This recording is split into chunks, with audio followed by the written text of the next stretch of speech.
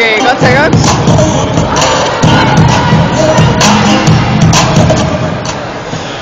väga-väga halb korraldus kuradi ilma B-klaadist siin poolt uuesti. mis need A-kad ja B-kad teevad praegu? see on C-klass, muide. ei no ma ei räägi nendest, ma räägin korraldusest Ah! seal on Mikk Rivool vend ja kuule, aga A-klass oli küll väga lame. A-klassis, mis asja nad tegid ma? räägin, mul oli piinlik A-kas olla ausalt. tule vaatasin mingi pikk troll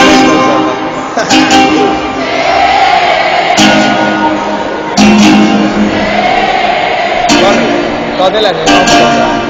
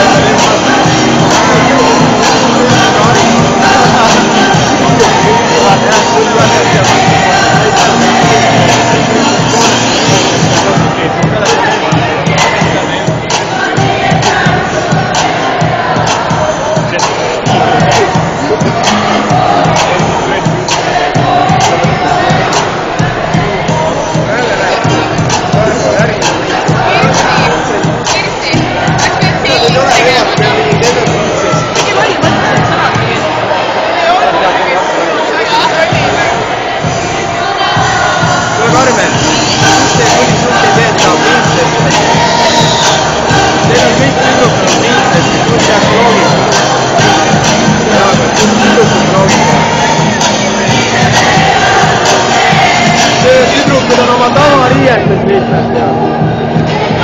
Teil on tüdrukud tavariietes ja. praktiliselt enamus.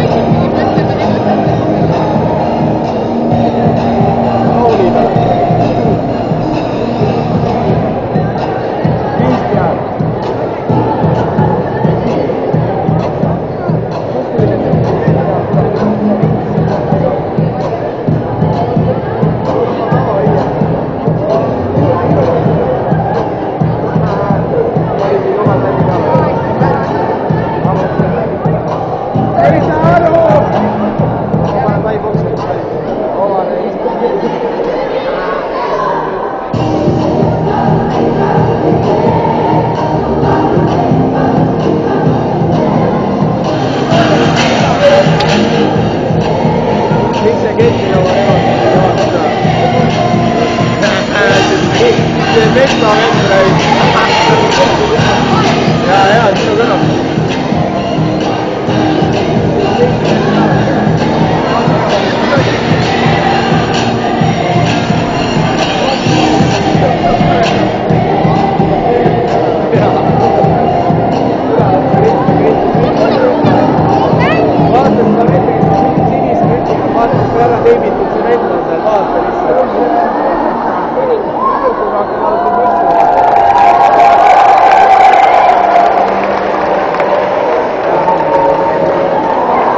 kaksteist emotsioonid.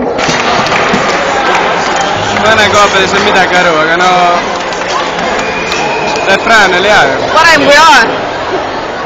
ma kahjuks A-ma, A ma ei näinud, aga noh, juttude järgi küll jah.